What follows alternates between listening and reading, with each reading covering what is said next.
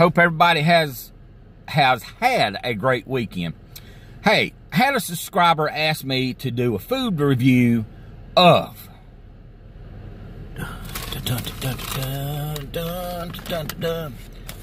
Bojangles. Um, famous chicken and biscuits. I ordered Bo-Rounds. I ordered um, a steak and egg biscuit. And I ordered um, a chicken filet biscuit. I know you hear me rambling. I'm looking for the receipt. Um, I might have stuck in my pocket. Let's see here. I don't think it did. Well, anyway, it was $8 and some change for steak and egg biscuit, a chicken biscuit with pack of hot sauce, uh, a Cajun filet biscuit, I think is what they call it, and hash rounds. Everything was pretty much on spot, but the biscuit fell apart run all down my shirt and in the floorboard. And if you look, see them greasy spots? That's where the biscuit fell on my shirt. So I think Bojangles needs to work on their biscuits about not falling apart when I'm trying to eat it. Alrighty, hope everybody liked that.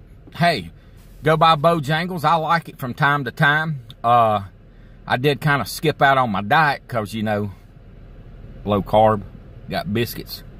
Uh, not good. But trying it for y'all. Um, let y'all know to go buy Bojangles. If you're in the South and you see a Bojangles, nine times out of ten, nine times out of ten, uh, food is 100% fresh, good. If you have any problems with um, the quality of food, they'll remake it. No questions asked. I've two, three times I've something wasn't right. Uh, just that biscuit, the other one was good. The other one was fine. I don't know if they came from two different biscuit makers or what. But one of them was just too soft, and when I bit my steak biscuit, it just crumbled and run all the way down my shirt. All right, and remember, made from scratch, buttermilk. Hey. And welcome to all y'all new subscribers, too. Uh, notice I've had a lot of new subscribers come in. Welcome to my channel. Uh, if you have any questions, anything, feel free. Any comments, tell me I'm ugly or whatever. I don't care.